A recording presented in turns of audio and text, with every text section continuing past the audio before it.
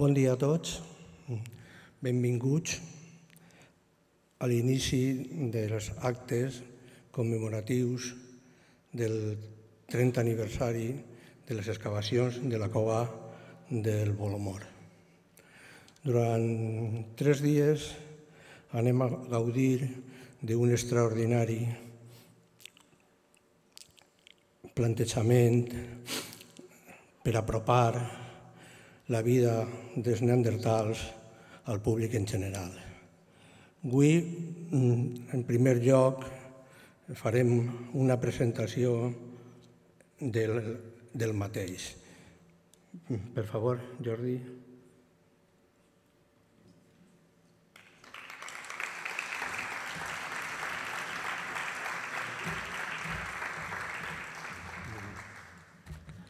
Hola, bona vesprada. Per a mi, com a alcalde de Tavernes, és un plaer donar-vos la benvinguda en esta sèrie d'actes en el que anem a celebrar el 30 aniversari de les excavacions de la Cova de Bolomor. Com bé he dit avui eh, a través de les xarxes socials, la Cova del Bolomor ens uneix a tots els ballers i també a tots els valencians.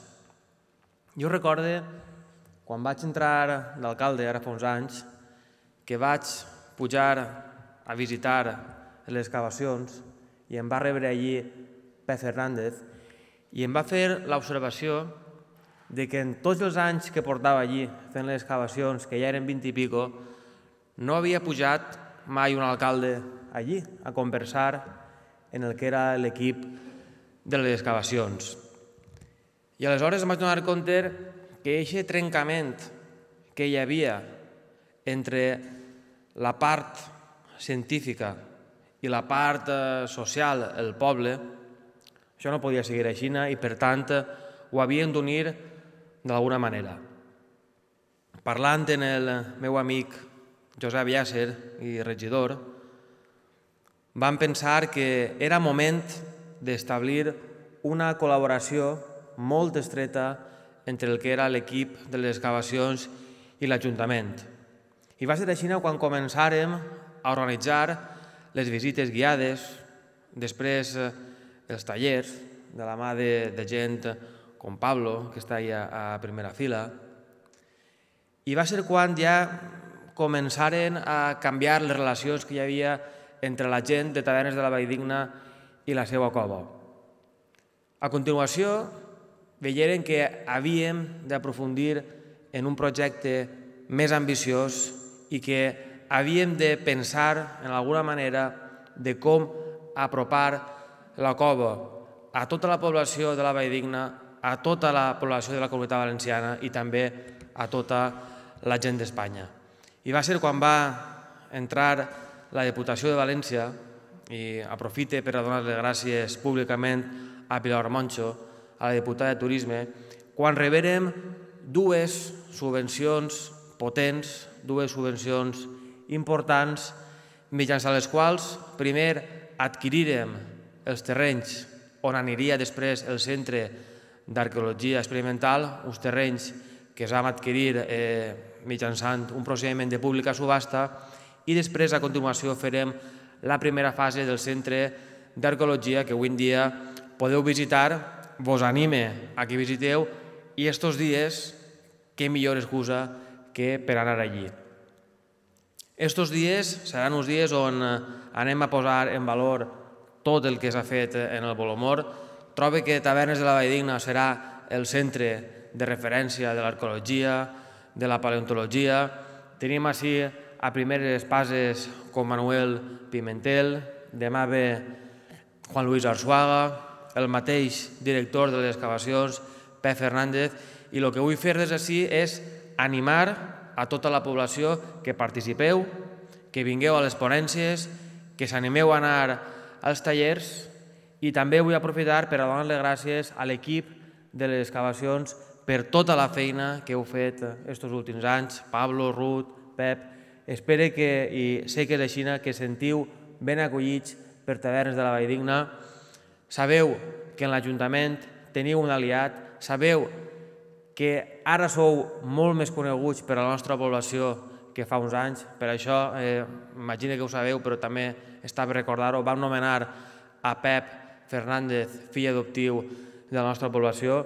Sabem que estem molt orgullosos de la feina que esteu fent i que aquests dies servisca per a reivindicar tota la tasca d'estos últims 30 anys. Moltes gràcies.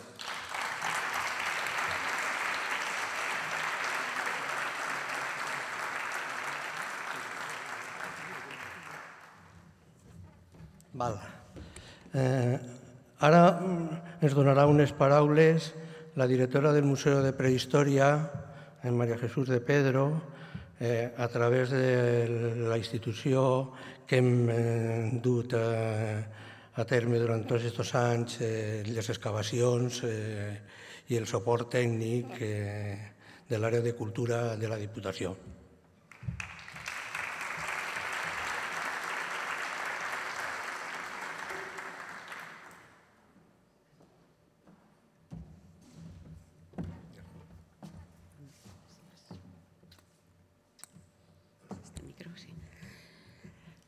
Molt bona vesprada a totes i a tots. Eh, com ha dit Pep, ja m'ha presentat eh, com a directora del Museu de Prehistòria, però avui també vull mm, fer eh, menció al diputat de Cultura, que no ens pot acompanyar esta vesprada.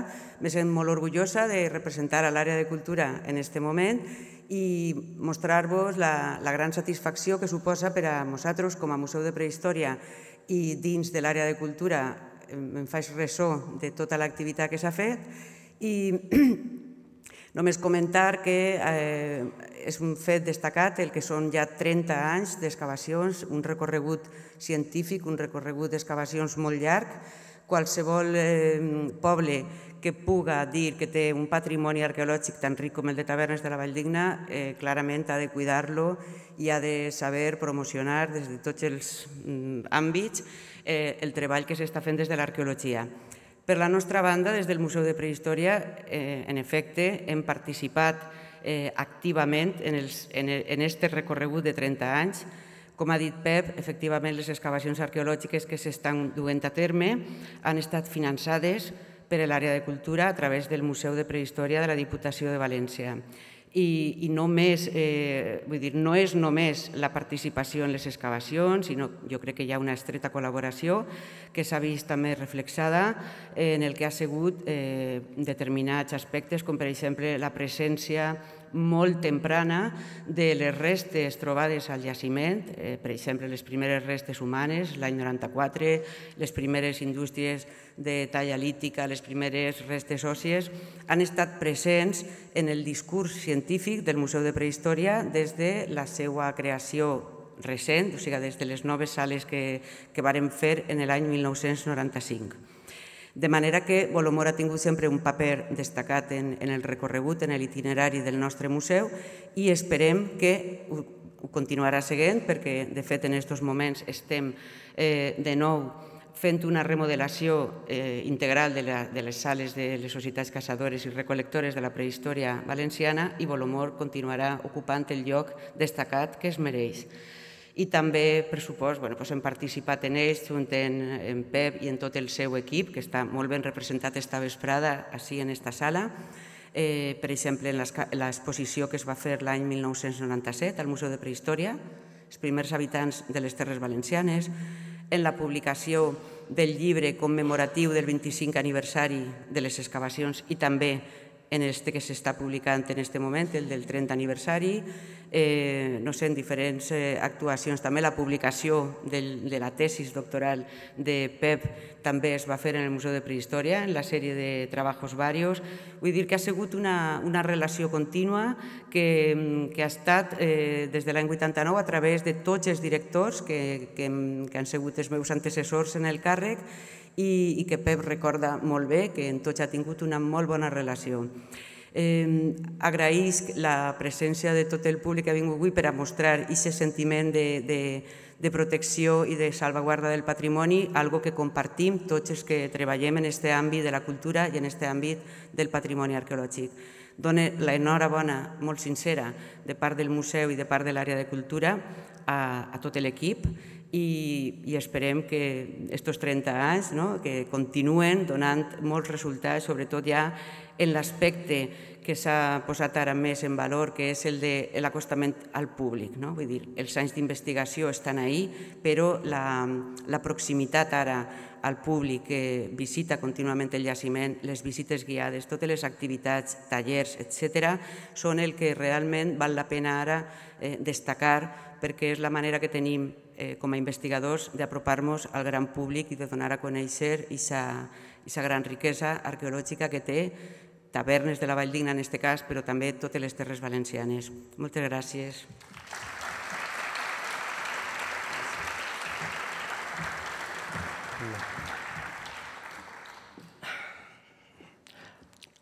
Ara es dirà unes paraules mmm, una gran amiga i una persona que ha sigut un gran suport per a les activitats en la cova del Bolomor, la diputada de Turisme Pilar.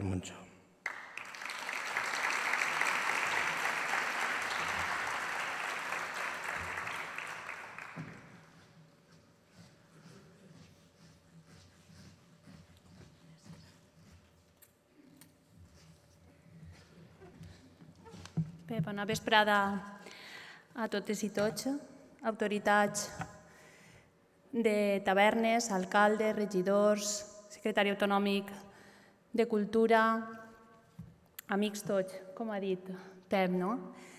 Bé, per a mi és un plaer estar en tavernes, ja ho sabeu, jo em sent com a casa quan vinc així, i més quan te reben persones eh, com Pep no? i com Pablo. Bé, jo crec que és de les primeres coses que vaig fer com a diputat de turisme va ser ficar-me unes esportives, uns pantalons còmodes i pujar a la cova del Bolomor. I direu, i què pinta turisme en cultura o en excavacions arqueològiques? pues, intentàvem mm, fer d'aquesta excavació, d'aixòs 30 anys que estem complint ara i que vos felicite per ells, fer d'aixòs excavacions i d'aixòs estudis arqueològics un atractiu turístic.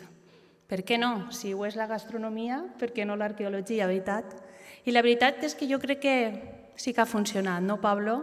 Jo crec que Pablo s'ha recorregut totes les fires de turisme en companyia de nosaltres, crec que ha ensenyat a fer foc a molts, molts, molts xiquets, no sols que han pujat a la cova, sinó que han anat a les fires i que han tingut curiositat per saber què era la cova del Bolomor. Jo crec que hem fet difusió d'aquesta cova arreu, arreu de tot el món i que molta gent s'ha interessat i d'ahir la notícia que hi avui a la premsa, no? quants visitants rep tavernes, eh? quants mils de visitants rep tavernes gràcies a la cova del Bolomor. Una cova que està ahí molt de temps, que esteu 30 anys estudiant-la i excavant-la i que en 4 anys jo crec que hem fet com un preci, no? una, una carrera molt de, de velocitat per fer aquest tipus de, de difusió i per fer-la arribar, com dia la directora, eh, fer-la arribar a aquest públic que de veritat és el que, el que ens hem d'apropar, no? el públic de, al xicotet, al gran, no? a tot tipus de, de persones que, que els interessa.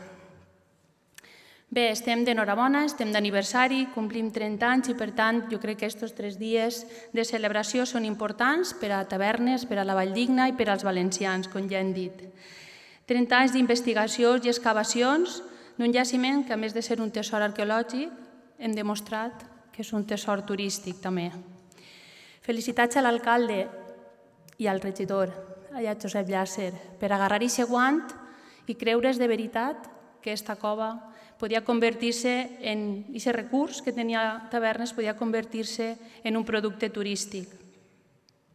Des del principi, el Patronat de Turisme va recolzar el, des el desenvolupament d'aquest projecte, que jo crec que és pioner, no crec que n'hi hagi un altre igual que este, en el que s'ha transformat un recurs en un producte competitiu que dinamitza el sector turístic i que aprofita per a desestacionalitzar, per a que no vinguin els turistes sols de sol i platja, sinó també aquells que estan interessats per la cultura i per els jaciments arqueològics.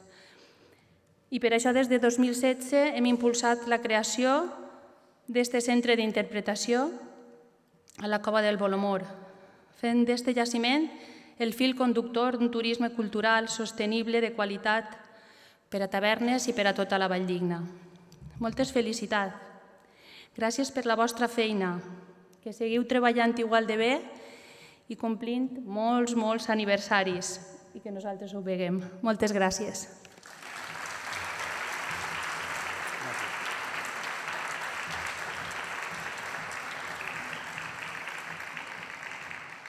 Bé. Seguidament, per a tancar els, els representants institucionals, ens, ens parlarà Albert Girona, secretari autonòmic de Cultura.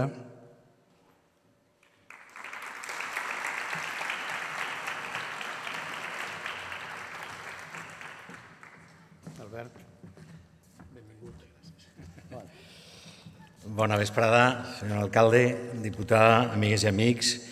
Eh, bona vesprada, torno a repetir. Bona vesprada i em referisc al qualificatiu precisament de bona eh, d'este cap vespre perquè és un acte el que ens ha portat així realment eh, eh, meravellós, eh?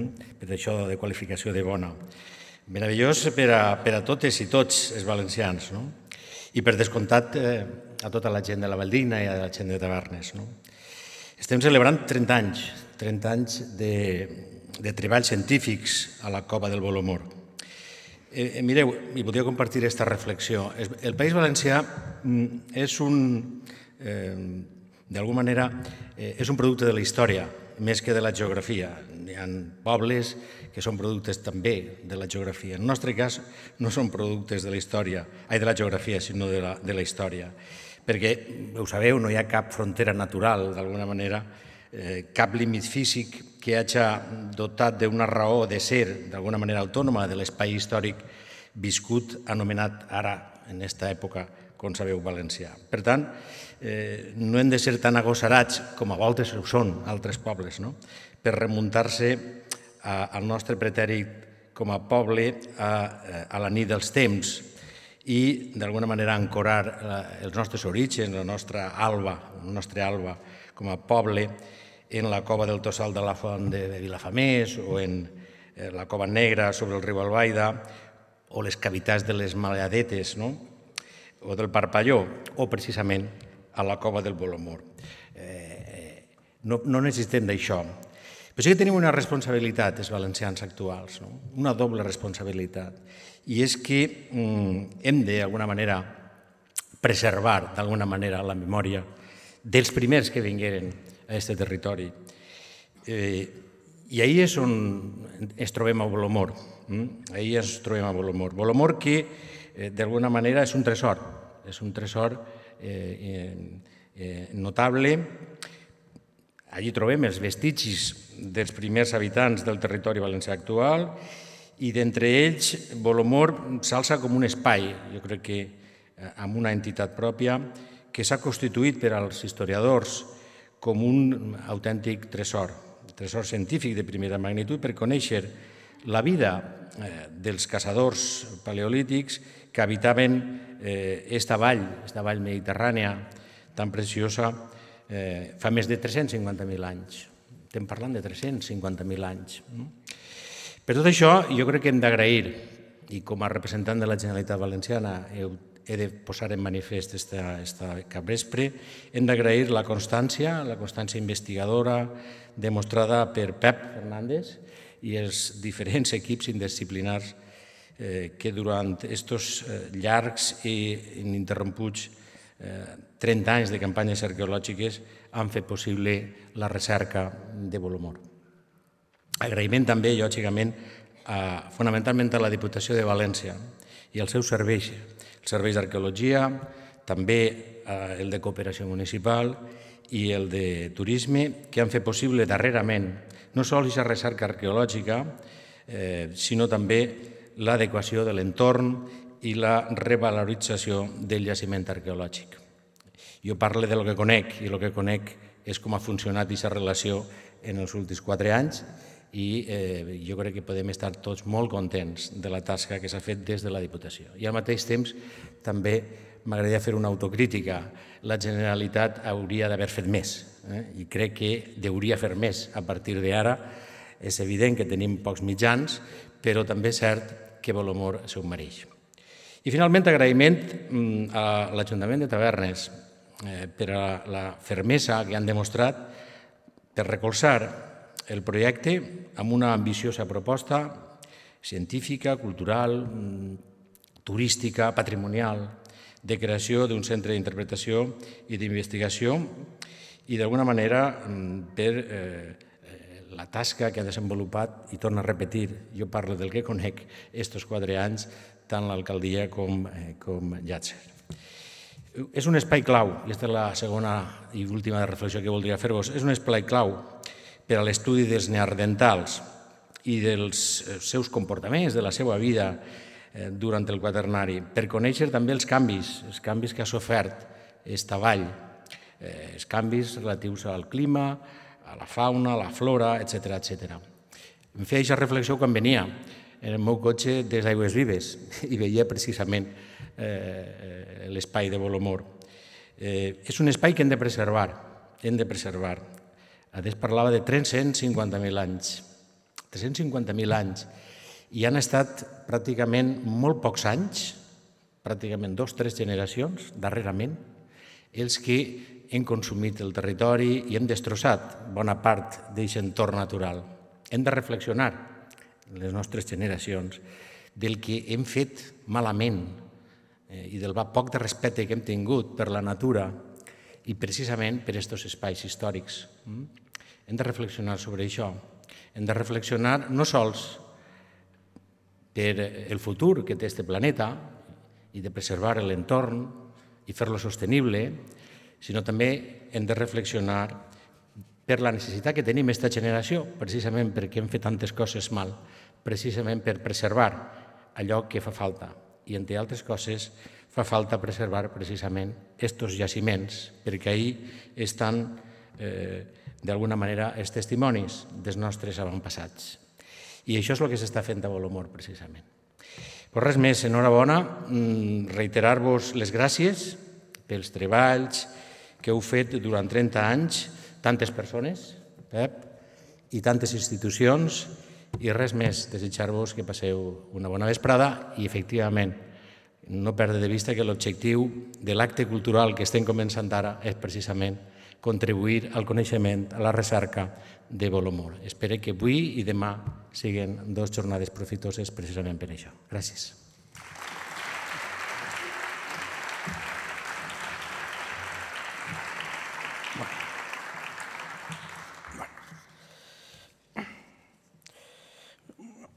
Seguidamente vamos a proceder a, a la presentación de, dos conferencias. En primer lugar, eh, la mía, que hará referencia a una reflexión de estos 30 años y a las perspectivas de futuro que deben ser abordadas en un yacimiento como Bolomor. Posteriormente haremos la presentación eh, de nuestro invitado Manuel Pimentel para finalizar con un acto musical de Silverio de Rugal.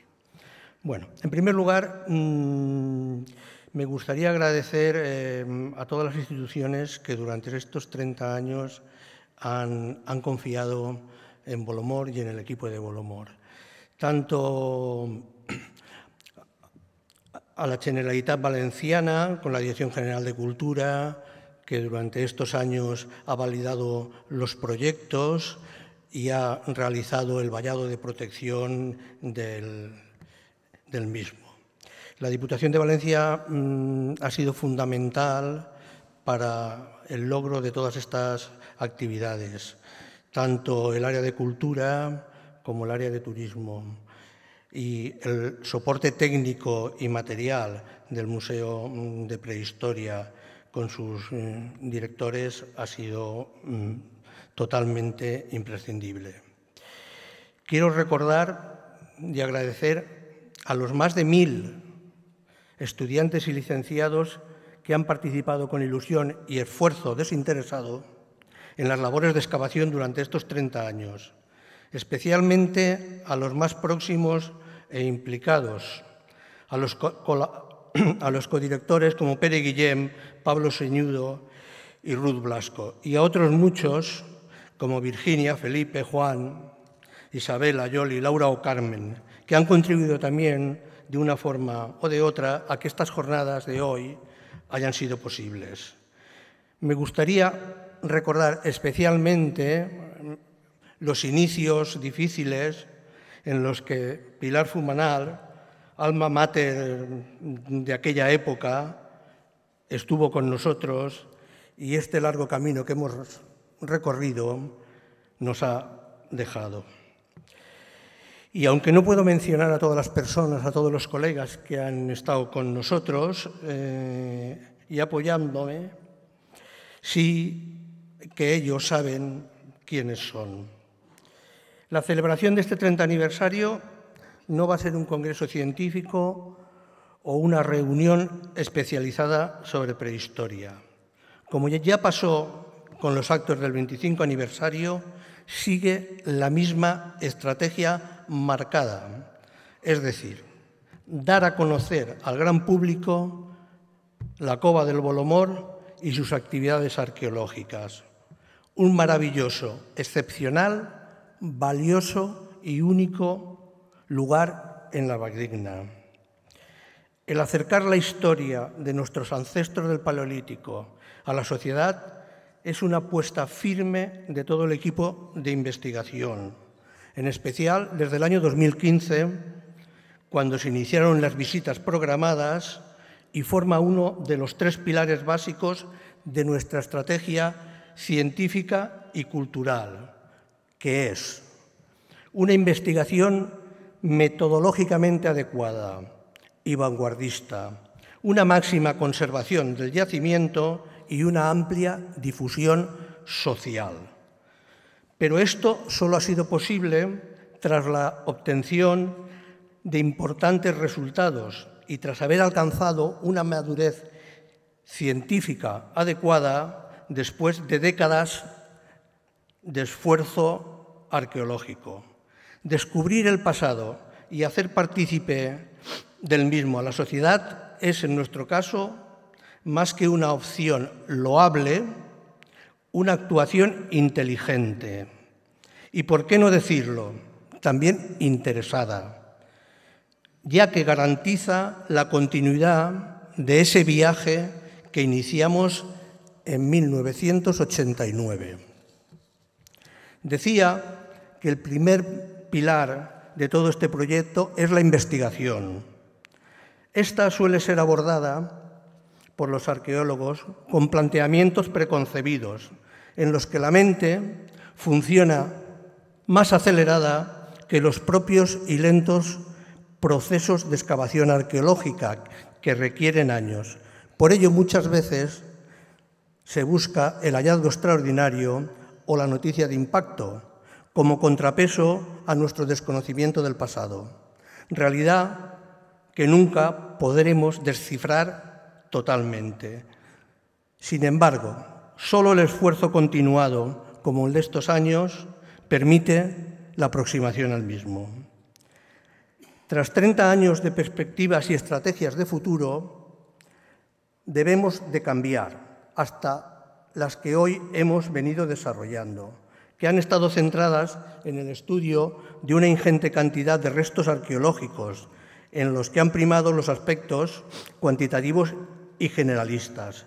Sin embargo, ha llegado el momento, tras estos 30 años, de abrir líneas de investigación muy específicas y ello conlleva necesariamente ralentizar los procesos de excavación. Es necesario revisar meticulosamente la información generada y los restos con los contextos arqueológicos recuperados, con adaptación de nuevas tecnologías, como única vía que nos lleve a un destino de certeza. En este sentido, y esto va dirigido especialmente a los más jóvenes, quiero recordar que la excavación de Bolomor se inició cuando aún no se disponía de ordenadores, ni móviles, ni cámaras digitales, ni estaciones topográficas de medida, entre otros muchos otros adelantos tecnológicos de hoy en día. El segundo pilar estratégico reside en las actuaciones conservacionistas. Frente al impacto ambiental de los humanos, incluido el que realizamos los propios arqueólogos sobre el yacimiento, la preservación de partes del depósito arqueológico es una necesidad, así como las estructuras geológicas que indican cómo se formó el lugar.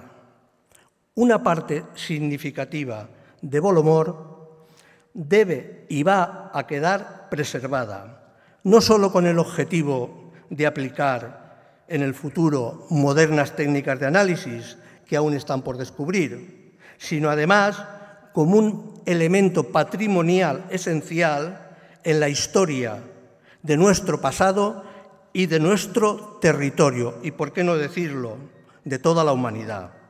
También resulta esencial el cuidado del entorno, en especial el barranco del Bolomor, testigo de un extraordinario y cada vez más escaso paisaje mediterráneo a orillas del mar, que desaparece día a día ante nuestros ojos.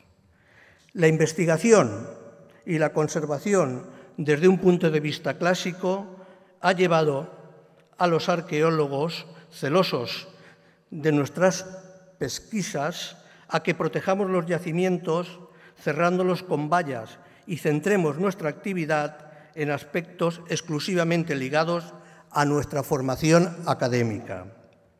Durante mucho tiempo nos hemos sentido, y yo mismo, muy cómodo abordando campos específicos de nuestra disciplina, como los estudios de industria lítica, las faunas del pasado o los restos fósiles humanos. Y en cambio hemos dejado de lado una cosa tan sencilla e importante como es la difusión social. Por ello, la nueva forma de proceder debe aunar las actividades de los investigadores, la preservación del yacimiento y su entorno y el establecimiento de una intensa relación con la sociedad.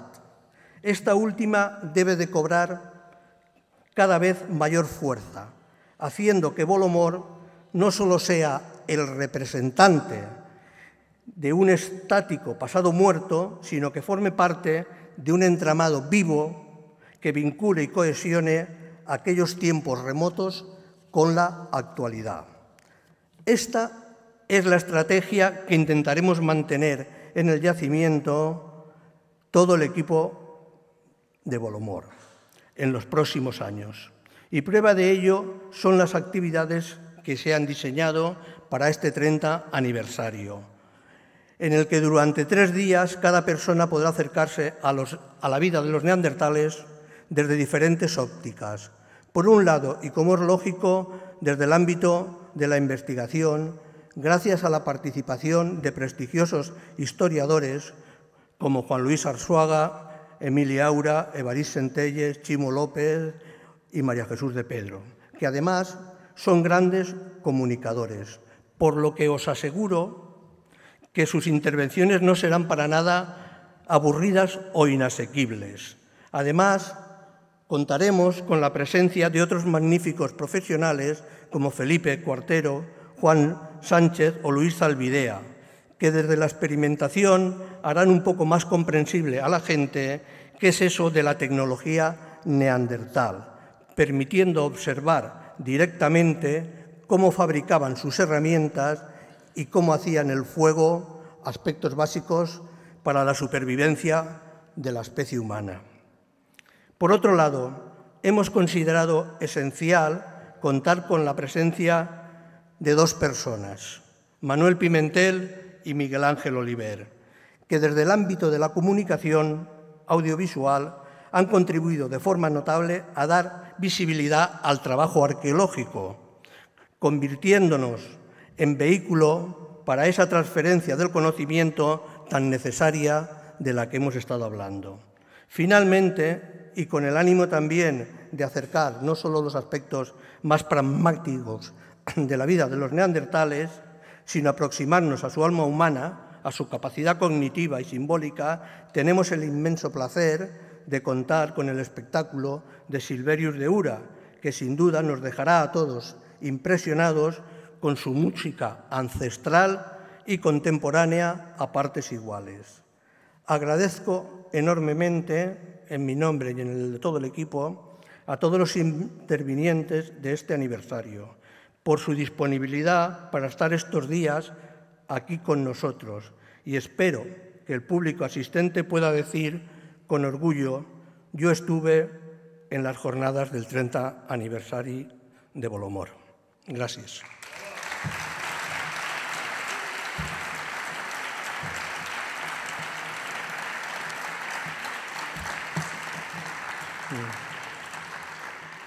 Seguidamente, Ruth Blasco mm, presentará al, al siguiente ponente. Ruth. Hola, buenas tardes. Bien, yo soy miembro del equipo de investigación y de la excavación de Bolomor y bueno, yo simplemente os quiero presentar eh, a nuestro primer conferenciante, que es un honor y un placer tenerlo con nosotros, que es Manuel Pimentel. Bienvenido. Eh, Manuel tiene un amplísimo currículum en áreas bien distintas dentro del campo de las ciencias y de las artes. Es ingeniero agrónomo, es abogado, es diplomado en dirección de empresas y doctor en Derecho. Imaginaros, ¿no? Como sabéis, también fue diputado en el Parlamento andaluz, además de ser secretario general de Empleo y ministro de Trabajo y Asuntos Sociales. Es autor además de varias obras de relatos, novela y ensayo y articulista además en, diversos medios escritos.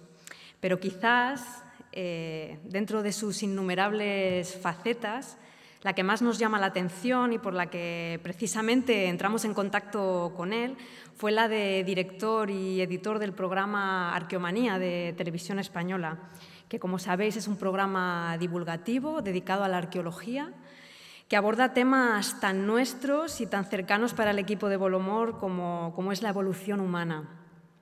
Este tipo de formato televisivo, pues tan importante, resalta pues todo lo importante que es eh, dar a conocer a la sociedad el trabajo científico de muchos equipos españoles, entre ellos el, el nuestro, de una manera sencilla, eh, entretenida y sobre todo rigurosa.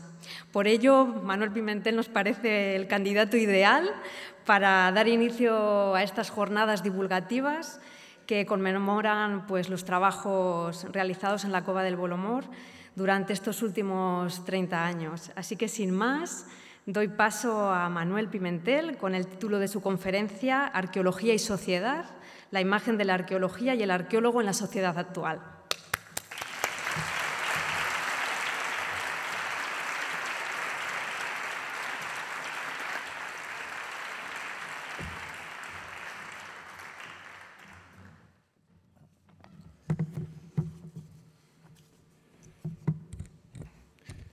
Muy buenas tardes. Eh, muchísimas gracias por, haberme invitado. El honor es, mío. Qué bien hablas, Ruth. Da gusto, da gusto escucharte.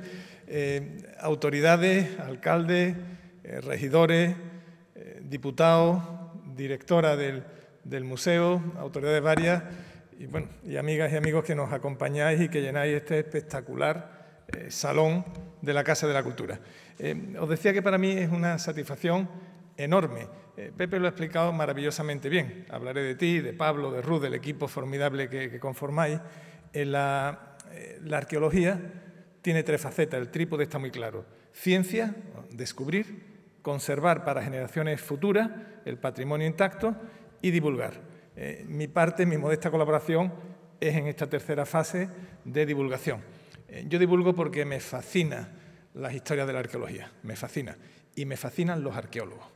Eh, nosotros hacemos un programa de arqueología y de arqueólogos. No contamos nosotros lo que pasa, le metemos el micrófono a los arqueólogos.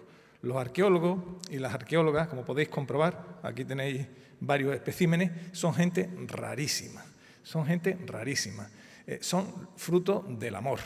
Yo los veo en verano, con unos calores, lo de hoy es un simple aperitivo, unos calores extremos, unos fríos rigurosos, con lluvia, subido unos cerros increíbles, en unas cuevas con rappel, durmiendo las criaturas de Dios eh, en, gimnasio colegio, en fin, ya cuando uno trabaja en el Museo Arqueológico, en la Diputación ya tiene un sueldecito, pero mientras llega a estar eh, los eh, doctorando, es un puro ejercicio de amor, dedican muchas horas. Eh, es toda una carrera de pasión para intentar descubrirnos a los demás, comprender mejor el alma humana de lo que ocurrió hace miles, decenas de miles, cientos de miles, millones de años atrás.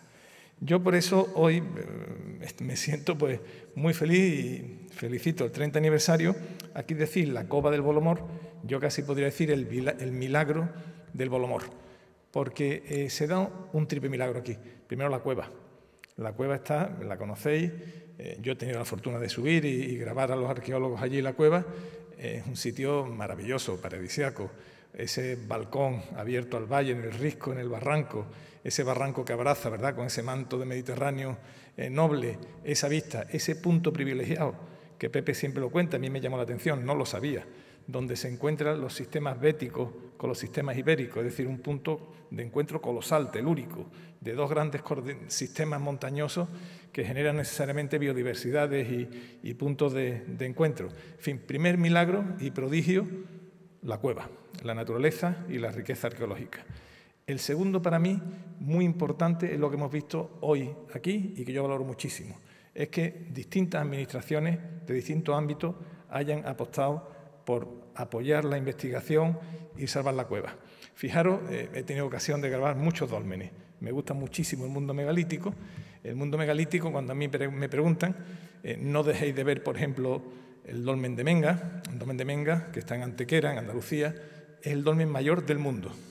Eh, la piedra, la losa que cubre la cámara, pesa 160 toneladas.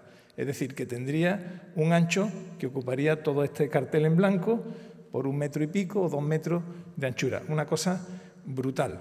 Y la gente dice, qué difícil sería en el neolítico mover esas piedras. Y yo siempre respondo lo mismo.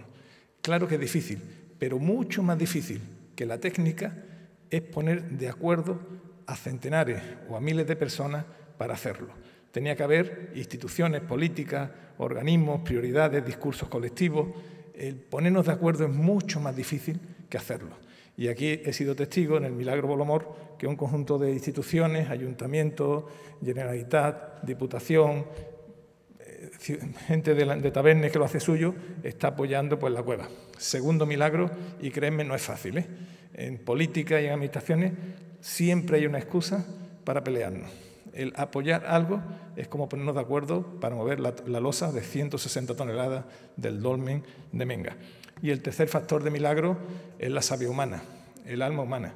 Eh, qué difícil es encontrar equipos que tengan la voluntad, la vocación, eh, la calidad humana de la convivencia, que se mantengan en años, que mantengan relación.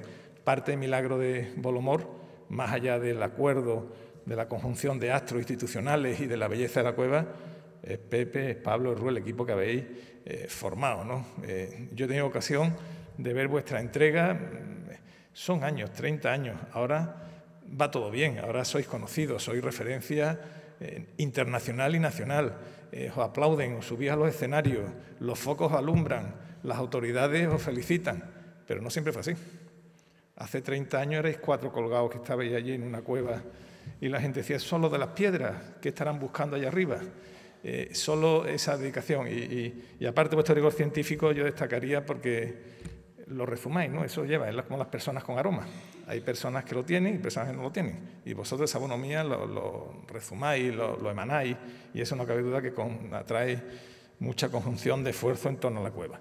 Bueno, pues el milagro de Bolomor va a continuar y lo que sí os digo, yo no soy nada experto en turismo, se me escapa la importancia, creo que estáis haciendo muy bien, pero las circunstancias me hacen que sí esté en el debate científico como divulgador, moderador de mesas, como editor. Eh, conozco un poquito los grandes debates científicos y os aseguro que Bolomor está en pleno corazón del debate y es referencia obligada en toda España y en toda Europa internacionalmente. Es uno de los yacimientos de paleoantropología que en el mundo pesa. Y eso no es nada fácil conseguirlo y es muy difícil llegar a ese Olimpo científico de los lugares contrastados de referencia y respetados por el conjunto de los científicos. Por tanto, tenéis un, reto y os estáis haciendo.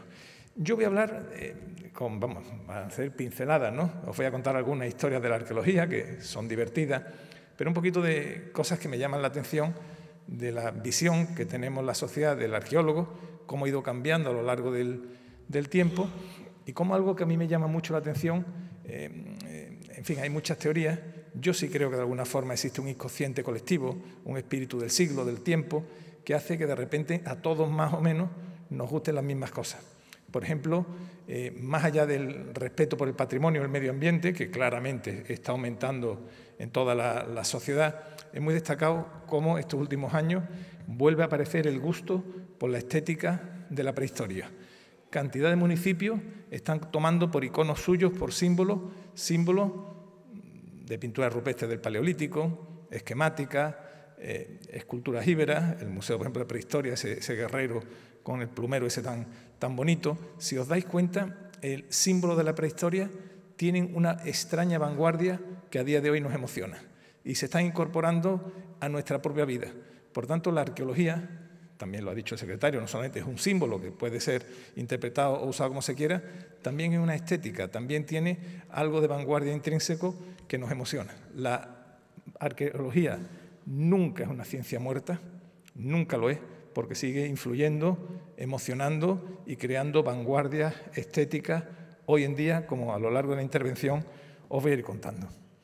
Eh, de toda la vida, de toda la vida, de toda la historia, eh, los propios neandertales y preneandertales de, Bolomor, al fuego de sus candelas, noche estrellada, el, aroma de ese monte, se cuestionarían por sus antepasados.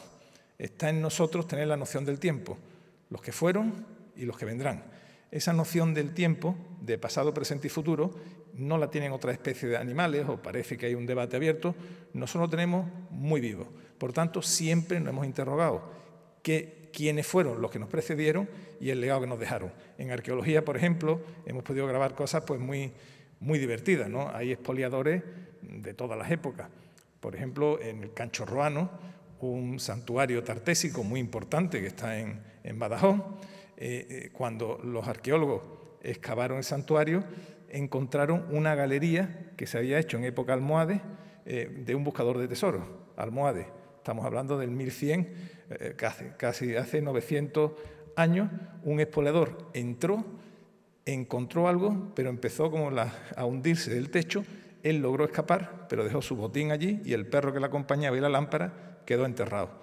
En, por ejemplo, los dólmenes de Valencina, uno de ellos, Montelirio, de una riqueza oriental bellísimo, eh, espectacular, que se ha excavado hace muy poco, una de las cámaras está expoliada en la época romana. Aparece el expolio romano y, por tanto, siempre hubo ese expoliador que básicamente siempre, ¿verdad? Tener esa sensación, esa emoción. Si entráis en una cavidad, en un sitio oscuro, que boca pasado, siempre hay, emoción y hay nerviosismo, y hay, pero más allá buscaban tesoro, básicamente.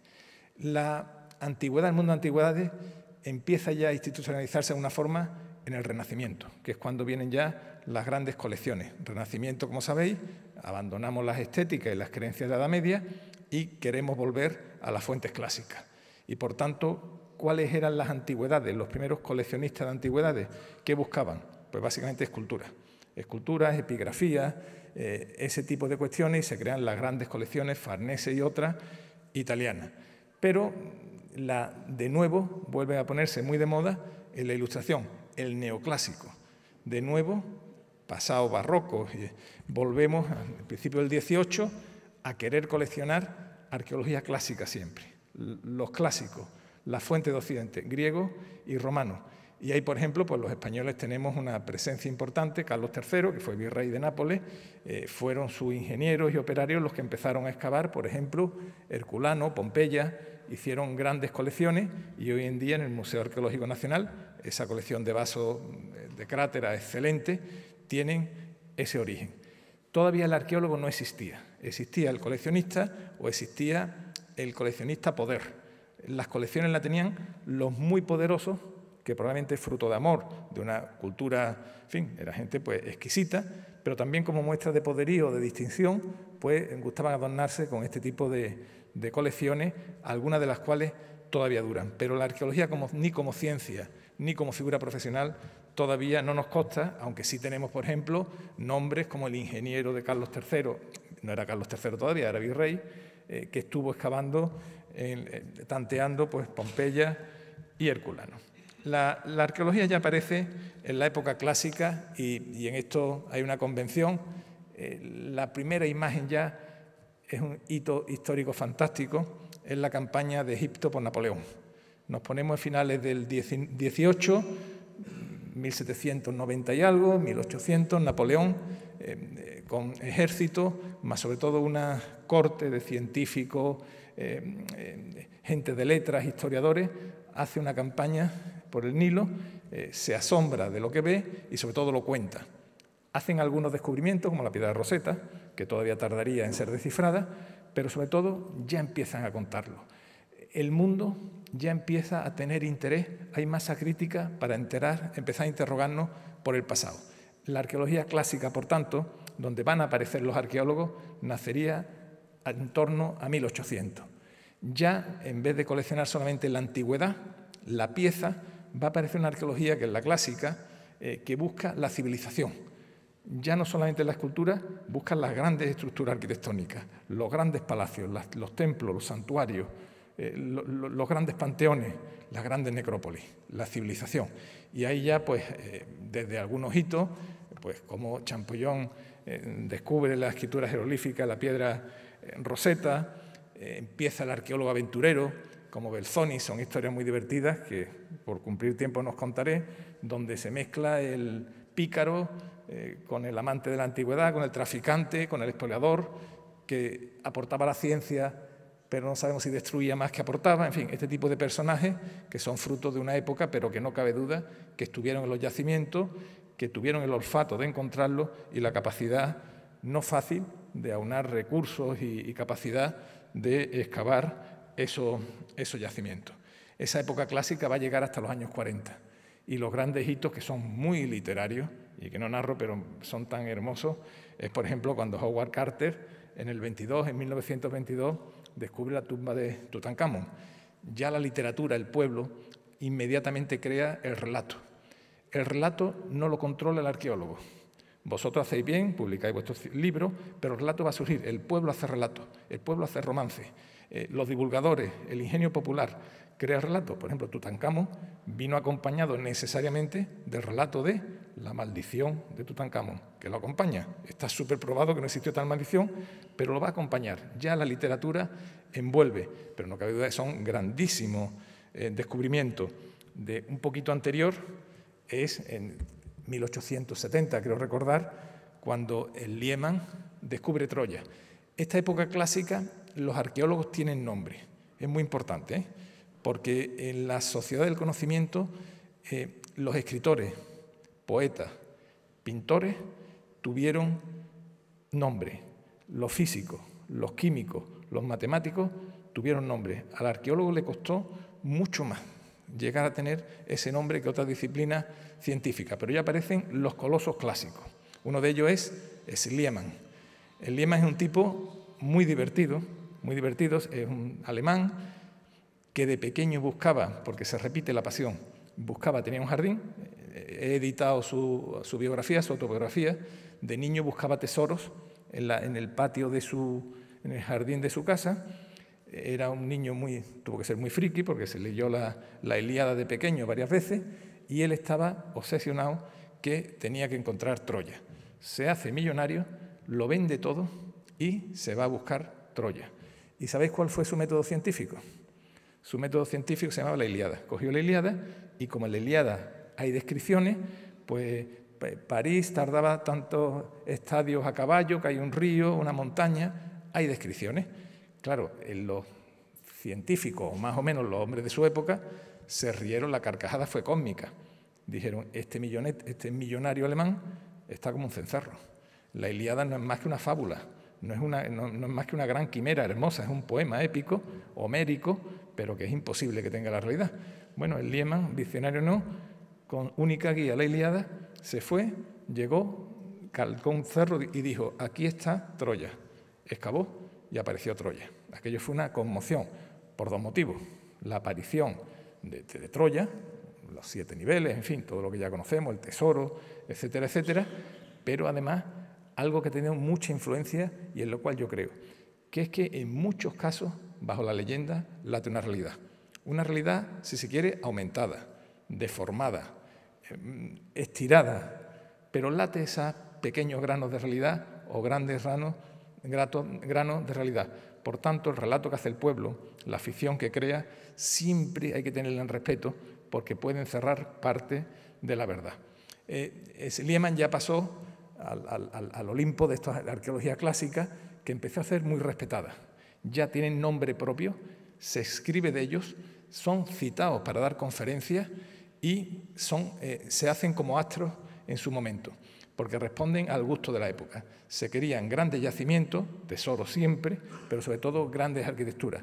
Y encontraron el sitio y crearon el relato el pueblo, la sociedad, no entiende de piedra, le cuesta mucho entender qué significa un bifaz radial de armonía, de simetría.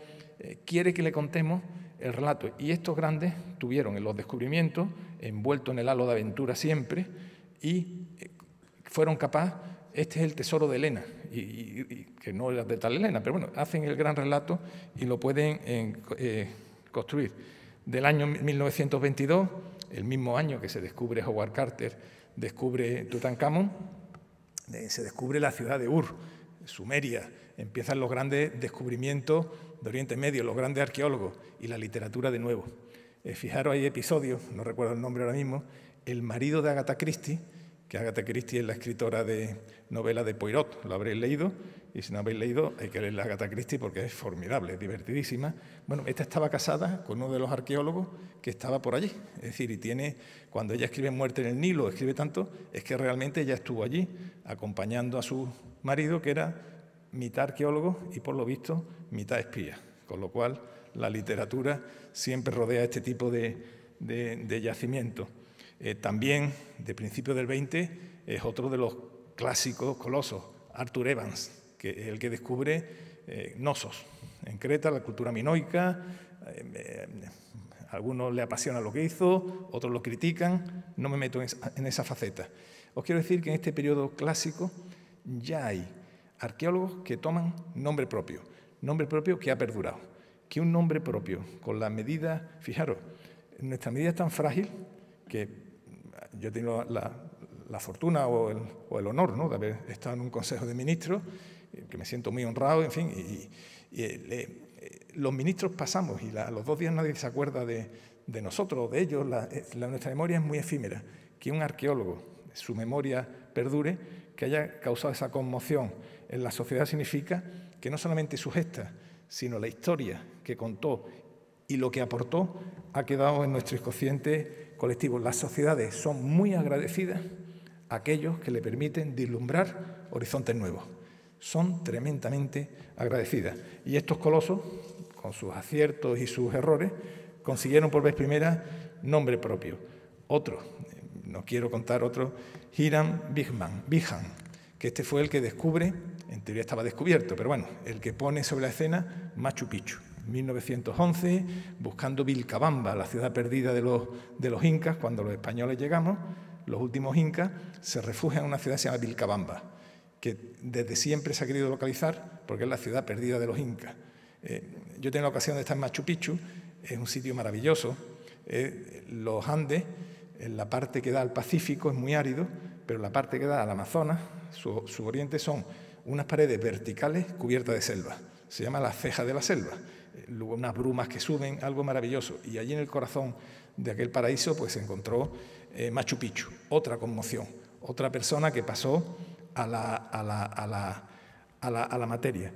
En esa época, fijaros, hablo de eh, finales del siglo XX, eh, siglo XIX y hasta los años 30, 40 si queréis del siglo pasado, ¿no? que es el periodo de la arqueología clásica, como buscábamos civilizaciones y estructuras, le dábamos la inmortalidad a los arqueólogos que nos la proporcionaban. Eh, el inconsciente colectivo reclama siempre, es muy difícil que una persona haga inconsciente, más bien el inconsciente reclama a la persona. Hubo, y como prueba de ello, en aquel momento fueron los primeros descubrimientos de los cráneos neandertales en Gibraltar, en Bélgica, en el Valle de Neander. Eh, algo de lo cual la, la, excavación de Bolomor es hijo. Sin embargo, los que descubren los cráneos de Neandertal, yo lo sé porque soy un friki de esto, pero no, no, no pasaron a la historia. ¿Por qué? Porque nos dieron algo que todavía no estábamos preparados para digerir. Queríamos palacios, santuarios, civilizaciones en ese periodo cráneo. No todavía no teníamos la madurez de encontrarnos con una evolución de las especies que a día de hoy todavía es algo que nos asombra de tal manera que no, no podíamos pedirle al siglo XIX un entendimiento. Darwin ya lanza su teoría de la evolución de la especie en esa época, un gran salto científico que genera un debate eh, eh, eh, afortunado, pero todavía una cosa era el mundo de la idea y, el mundo de la evolución animal en general y otra cosa era mirarnos en el espejo de nuestra propia evolución. Por eso, esos nombres que existen no están en el, en el Olimpo de los arqueólogos con nombre, con nombre, con nombre propio. De esa época, el arqueólogo clásico, en España tenemos buenos ejemplos, eh, claro, eh, a escala española, pero personas que han pasado y que hoy en día son, son conocidas. Eh, desde luego, Sandes Sautuola, el que descubre Altamira, es un personaje que iba al cine. La historia es preciosa, como conocéis, ¿no? Este era un, tipo curioso, se va a Francia, entonces cuando empieza eh, a aparecer, los franceses eran pioneros en esto, los primeros útiles paleolíticos, aparecen las expresiones del hombre de las cavernas y estaba el darwinismo en plena evolución. Por tanto, como eh, había una evolución progresiva de las especies, eh, lógicamente el hombre prehistórico tenía que tener mucha menos inteligencia que nosotros. Estaría en un estado más o menos medio entre un gorila, entre un chimpancé y nosotros. Por tanto, la sociedad no estaba preparada todavía para que hace miles de años unos artistas fueran capaces de pintar una obra de arte tan inconmensurable y tan hermosa como los bueyes de Altamira. Eh, cuando esa chica, María, dice, papá, papá, Bueyes fue una epifanía, ¿no? Se hizo de repente la, luz en el arte. Eh, claro, San Satuola dice, esto es pintura, hace un opúsculo muy pequeño, lo llama breves apuntes, un tipo modesto, pero acierta de pleno. Estos son pinturas que se pintan en el Paleolítico. La carcajada fue cósmica, los franceses, entonces doctores de la, prehistoria, no se lo creen, en fin, argumentan mucho. Hay películas, hay libros, son una historia tan bonita que, está. Eh, Sandes Sautuola se muere, eh, en fin, eh, otras cosas le fue muy bien en la vida, es el abuelo de los botín, o sea que no le iba mal la cosa tampoco a él, pero se muere con la amargura de no haber recompensado, reconocido su obra. Al poco de su muerte, Caudillat, uno de los grandes popes franceses, escribe un artículo donde dice me arrepiento, reconozco mi error, fue a Santander a rendir pleitesía a ver la cueva y a rendir pleitesía pues a la familia eh, que había sido pues, derrotada y que hoy en día. San de Sotola, su historia, Altamira, que es un grandísimo descubrimiento, aparecía. Ahí por vez primera la sociedad empezó a interesarle por la vía artística lo que es la prehistoria. Hasta entonces el paleolítico, todas las grandes civilizaciones son prehistoria, ¿no? El paleolítico. Eh, pero todavía eh, las dataciones eran muy equívocas, el vértigo de los miles de años no lo entendíamos eran dimensiones, era demasiado avanzar. Pero ya en la, pintura rupestre, los grandes descubrimientos de pintura en, Francia, en el Cantábrico, y ya aparecen personajes en España con nombre propio, que los que estáis más metidos sonarán y, ah, y otros no, como Alcalde de Río, o Meyer, el abate Brel. El abate Brel es un cura francés que yo no sé si tuvo siete vidas, tengo la ocasión de ir a muchas cuevas y rara es la cueva que no está el abatebel. El abatebel era bajito, gordito, iba con una burrita el hombre y era capaz de subir a, los riscos más, no lo comprendo, siempre estuvo el abatebrel, le daba tiempo a hacer los calcos de las pinturas y, desde luego es una, un, científico eh, relevante. Aquí en, nuestra, en esa época clásica aparecen nombres que han durado, eh, por ejemplo los hermanos Siret, que encuentran en Almería y Murcia toda la cultura del, algar, que se extiende hasta, hasta, Alicante, hasta muy cerca de, aquí. Bueno, la directora, una experta en el bronce, es la que tendría que hablar de esta materia. Bonsor y sobre todo un personaje que a mí me atrae mucho, que es Schulten. Eh, Schulten era filólogo, por tanto decía la palabra. Schulten era un tipo complicado, alemán también, eh, sobrado, porque claro, os digo, a mí me gusta la arqueología y me gustan los arqueólogos, porque son muy raros. Schulten es un tipo que llega a Numancia, están allí, y él lo escribe, y lo escribe en sus artículos y todo.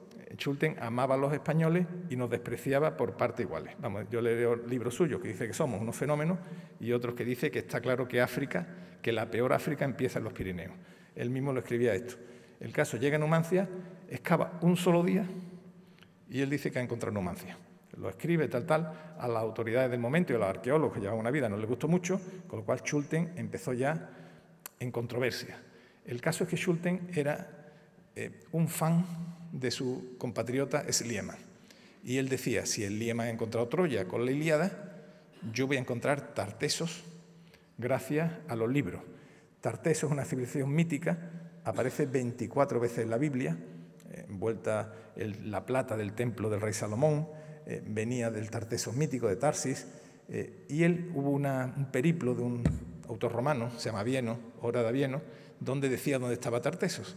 Y él dijo, oye, si ese Lieman ha encontrado Troya con un libro antiguo, yo voy a encontrar eh, Tartesos con mi libro. El hombre se metió por esas marismas. Si conocéis las marismas, son sitios muy vastos. En Doñana, lo que es el Parque Nacional de Doñana, todo el mundo, en Andalucía además, que nos divierte, bueno, la, se llama el cachondeo, meterte con la gente de broma, eh, decían, ya está el loco este, el alemán, por esas marismas buscando eso de Tartesos. No encontró Tartesos, pero dejó escrito un libro y puso Tartesos sobre la mesa que después se comprobaría que efectivamente eh, fue una civilización y ya no es mito, sino es arqueología. Eh, esta época clásica, esta época clásica da el arqueólogo que crea el imaginario, muy poderoso. Eh, y que termina en la Segunda Guerra Mundial. Y el cine, ese poderosísimo instrumento de comunicación popular, crea el prototipo que ha venido para quedarse, que para lo bueno y para lo malo marca uno, que es Indiana Jones. Indiana Jones, un profesor universitario, eh, película de Steven Spielberg, que batió audiencia máxima, busca la arca perdida, que compite con los nazis que también están, en fin, y ya empieza por las diversas aventuras. Ese prototipo ¿eh? reúne todos los tópicos, arqueólogo, profesor universitario, que se va a la selva, eh, aventurero, y crea una imagen que tiene entrada. Es una imagen que tiene elementos que son ciertos y elementos que son puramente de imaginación. Pero la arqueología cambia y eso pudo ser o responder a un modelo de aroma clásico. A partir ya de los años 50, cuando ya termina la Guerra Mundial, ya empieza el mundo de la arqueología científica ya no solamente buscar la civilización, ya no solamente buscar la antigüedad, sino es comprender, comprender a través no solamente del objeto, sino de todo lo que se ha hablado, y ha hablado de toda la paleobotánica, de todo lo que rodea, entender cómo era el ecosistema, cómo era el modo de vida, qué ocurría, ya algo mucho más complejo. Ahí algunos personajes logran encontrar nombre propio, ya no con las piedras, sino ya aparece la edad de oro de la paleantropología, que es la gran ciencia ahora mismo. Y por eso mi tesis final, estáis, chicos y chicas, metidos en el corazón del debate de la arqueología, que es la paleantropología. Porque hablar de paleontología no solamente es hablar del pasado más remoto, es hablar del futuro, porque estamos hablando de la inteligencia. Ahora estamos evolucionando como especie, construyendo la inteligencia artificial. Ahí hay algo evolutivo. ¿eh? Estos no son cuatro chalaos con ordenadores. Es inteligencia, es hablar de inteligencia. Eh, la inteligencia tiene muchos soportes, a veces en carbono, que somos nosotros, u otros. Ese debate comenzó con la paleantropología. La sociedad inconscientemente supo que en el hueso, que en el humano antiguo estaba el futuro. Y fijaros cómo aparecen los grandes nombres de la paleantropología, porque la sociedad los hace, los pide. Los Liki, la familia Liki, que en Old Dubai fueron los que encontraron a Billy Ergaster, en fin, estuvieron décadas excavando y fueron, o Johansson cuando descubre Lucy, el Australopithecus, que cogen esa sonoridad. ¿Por qué se hacen tan famosos ellos y no los que descubren Neandertal? Porque la sociedad todavía no estaba preparada. Tienes que tener el descubrimiento y llegar en tu momento, como la vida, como las novelas. La misma novela escrita 10 años antes o 10 años después eh, no va a tener la misma repercusión. Está el estado de ánimo de la sociedad. El siglo, la segunda parte del siglo XX y del XXI, la gran disciplina va a ser la paleantropología, porque no hablar del pasado, sino hablar de nuestro estado actual, que es la inteligencia, que somos como eh, seres de inteligencia distribuida, que es lo que, somos. Esto se ve clarísimamente en España. Eh, en España eh, hay varios yacimientos paleantropológicos muy importantes, pero el que, y con el gran respeto, mañana va a estar aquí Juan Luis Arzuaga, el que ha marcado un antes y un después, y en mi modesta opinión, para bien, ha sido Atapuerca. Atapuerca, que es un yacimiento prodigioso, todas las etapas están allí, lo tiene todo. En fin, el 80% de los huesos de fósiles humanos han aparecido allí, porque la cima de los huesos es un prodigio, eh, eh, tiene todo, van a encontrar Neandertal ahora en Cuevas Fantasma, lo tiene todo. Pero además de que lo tiene todo el yacimiento, de nuevo viene el milagro del Bolomor. Allí aparece el triple milagro. Si no hay triple milagro, no hay gran yacimiento. Aparece un equipo humano muy potente, su padre Emiliano Aguirre, bueno, antes también estuvieron otros, pero Emiliano Aguirre y los tres que se han logrado mantener unidos y trabajar juntos, Carbonell, Bermúdez de Castro y Arzuaga, han hecho una tarea de divulgación científica importantísimo. Atapuerca hoy es con Olduvai, con Damanisi, ahora con Denisova, son los grandísimos yacimientos que están en el mundo y donde Bolomor pues, está escalando ahora mismo y acercándose pues, pues muchísimo. ¿Por qué toman estos yacimientos esa fuerza? Pues créeme que en parte porque son formidables, en parte por el equipo humano, en parte porque el conjunto astral del apoyo de las instituciones, pero en gran parte porque llegan en el momento anímico de la sociedad. La sociedad ahora mismo necesita comprender qué somos, nuestra inteligencia, dónde vamos, y eso está y reside en la paleantropología. Hay otros yacimientos muy importantes que nos darán mucho que hablar, como, Orce, y también otros clásicos, que los que seáis arqueólogos lo estudiaréis, Ambrona Torralba, que está volviéndose a excavar y que nos dará también pues, grandes, grandes alegrías. En todo caso, ahora mismo, salvo los nombres propios grandes, eh, aparece una nueva imagen del arqueólogo, que es el arqueólogo científico. Un arqueólogo es un tipo o una tipa que ha estudiado historia. Por tanto, en fin, eh, sabe los reyes godos, eh, sabe el nacimiento, sabe los yacimientos neolíticos y de repente se tiene que estar viendo dirigiendo equipos con geólogos eh, que estudian geomagnetismo, eh, que van con dataciones de urano torio, con eh, inteligencia artificial, con GPS, con topografía, con paleobotánica, con ADN, con genetistas, con biotecnólogos. Aparece el equipo. Ese arqueólogo tiene que tener conocimiento, sentido común, liderazgo, generosidad, aparecen atributos nuevos que hacen que la palabra ahora mismo sean los equipos.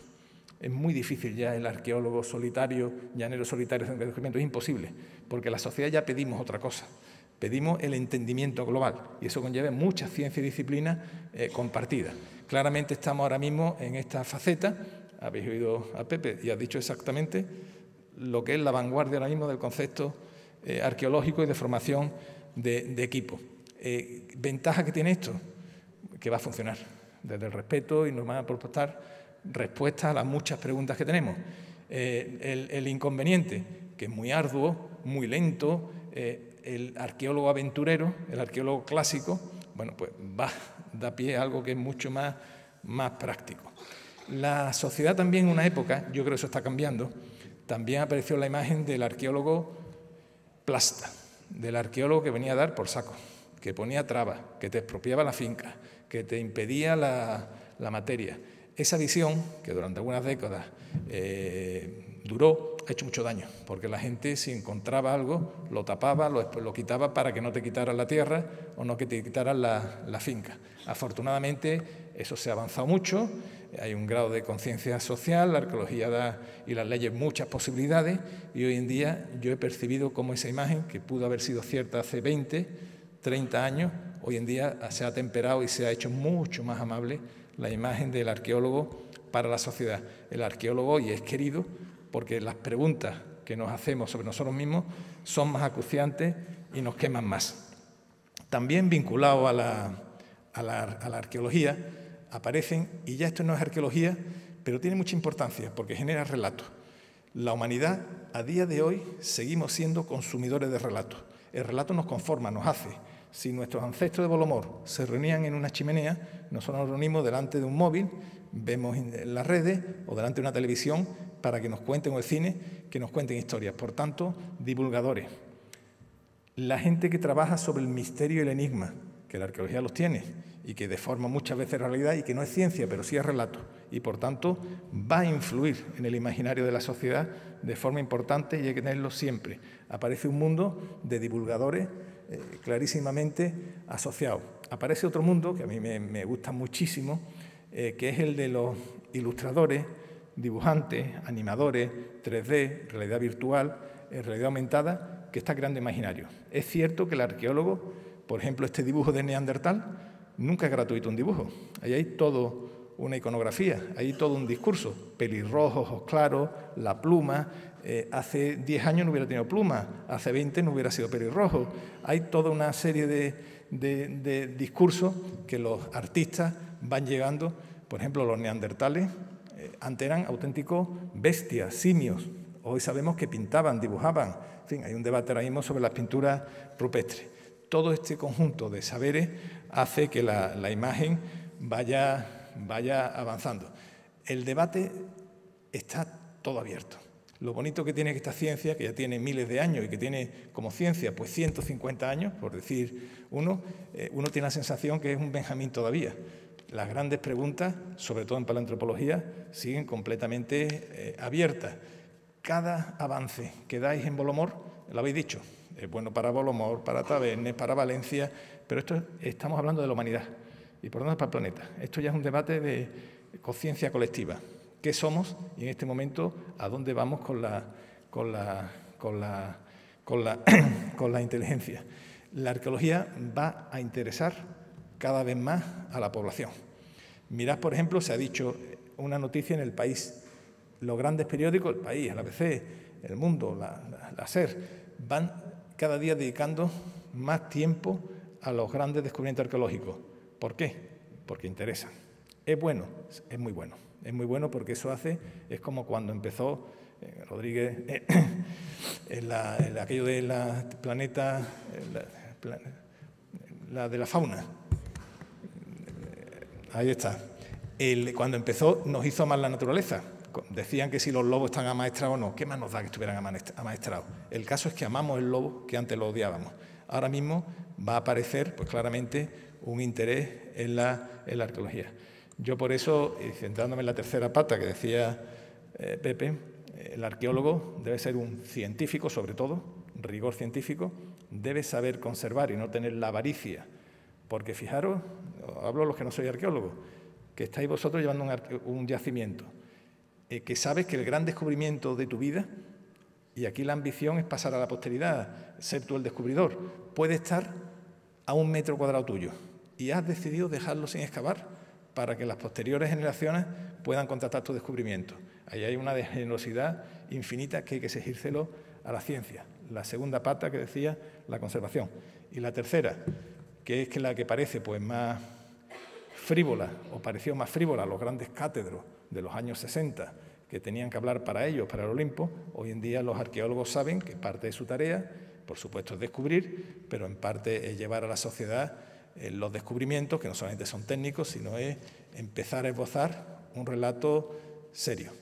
Yo me siento muy orgulloso de haber podido colaborar con el equipo de Bolomor. Modestamente, cuando me invitaron, dije que sí al principio, porque, en fin, mi modestísimo granito de arena quería pegarlo, porque yo sé que este proyecto es hermoso, es noble, es positivo para todos, va a tener un desarrollo tremendo nos está iluminando y porque hablar de Bolomor, del Neandertal, de Preneandertal, eh, os repito esta idea porque la veréis mucho reflejada en el futuro. No solamente hablamos de nuestro pasado, que se nos alumbra, sino sobre todo empezamos a comprender nuestra propia evolución que se conjuga en la palabra inteligencia. Y en estos yacimientos estamos encontrando cómo nació y cómo evolucionó esa facultad sorprendente que nos hizo humanos. Muchísimas gracias.